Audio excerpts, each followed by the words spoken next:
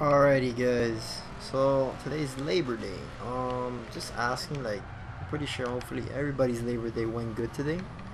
Um, so I told you guys yesterday, Sunday, that I would hit you guys up with uh, with a nice uh, with a nice little challenge. I was thinking,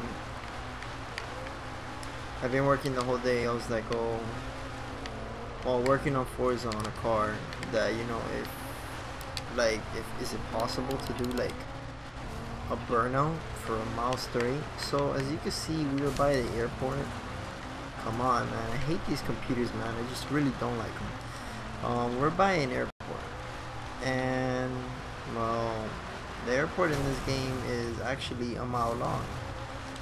So I was thinking what about getting a car that can do a burnout for a mile long? Is it possible to do a burnout for a mile long traveling at speeds over 50 miles per hour. So not just your adequate old burnout and do like 10 mile per hour burnout down the whole strip taking like 5 minutes. No, no, no. At least 50 miles per hour. And I was thinking, okay, let's do it. So I'm going to show you guys in comparison this is what a Dodge Viper. It is completely stock and it produces 640 horsepower and 600 foot-pounds of torque. Plus, if you want to add to it, it's raining. So it should be able to do a burnout with no problem, right? Cause yeah, you can go you can go as far as you can like that. Even if you upgrade the car, I doubt it. You'll be able to get this car to go more than 50 miles an hour doing a burnout all the way to the end but as in retrospect, this car has 600 foot, um, 600 um, foot pounds of torque. So I was thinking, what about getting another car that has around that same power, but I can do the whole strip. So, and you guys are gonna be like pretty amazed because you would never think, oh, you think burnouts are usually like for you know muscle cars. They're able to do it much better than Japanese or Italian or German cars on average because I mean muscle cars are make more torque on average than all those other cars because those are mostly like high revving motors and these are like you know mid-range motors so you know they produce a lot of torque. And they pretty much match, match their horsepower as well. But here I'm gonna give it a go. And as you can see it's pretty much like a failure. Like it can't even go. And that's that it's raining. So there's something. It's going at about 20 miles an hour Okay, so as you see, it can't hold it. This car that I'm going to show you guys is just one hell of a car. So from a standstill, let's see how far we can get though.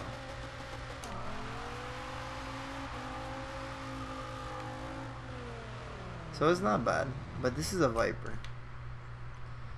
Um, the car I'm going to show you guys might amaze you guys.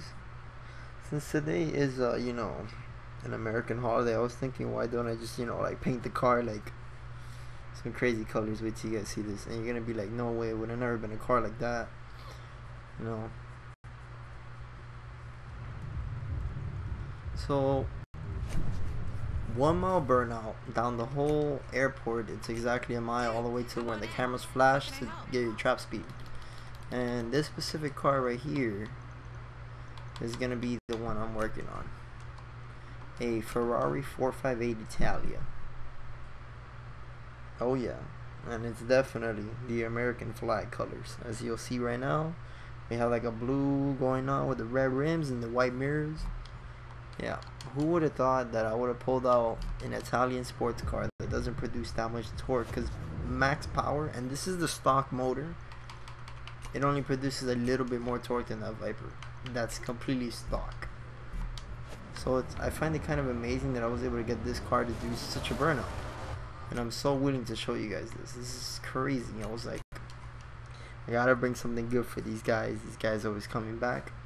For sure, here it is, yo. This is the video I got for you guys.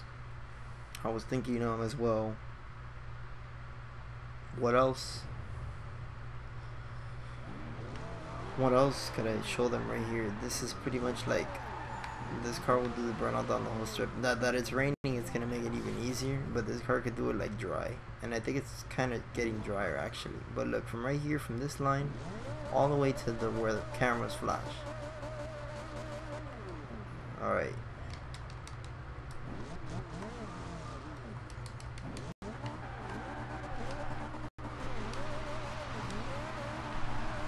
Traveling at speeds of over 50 miles an hour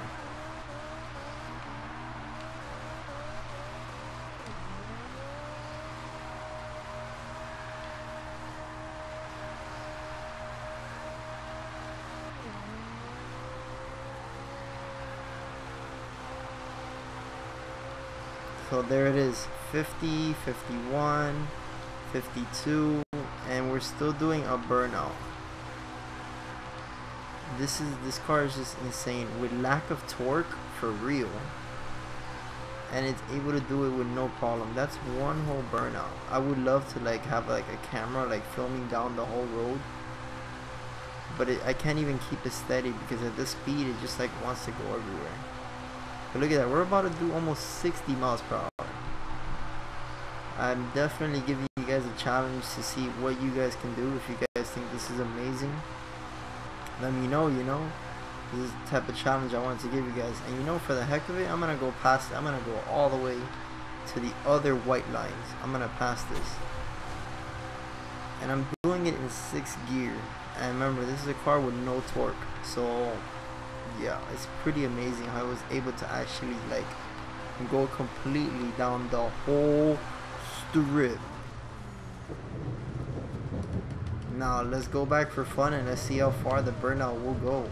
As you saw, I left smoke. Look at that. Now that is what you call burnout. Now that would have been like on 420. That would have been funny. Holy moly, look at the size of that burnout. This the whole the whole airstrip that's just insane. Oh my god.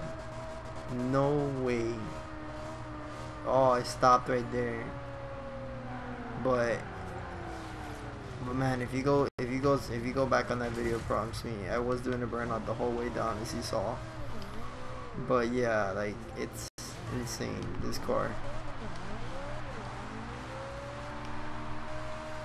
Oh yeah, I think I'm gonna write my name on the floor. nah, nah, nah.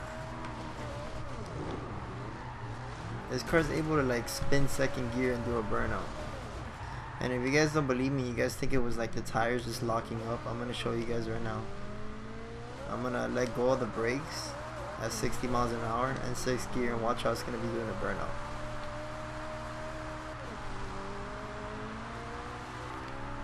There it is, look. There it is. That's still a burnout.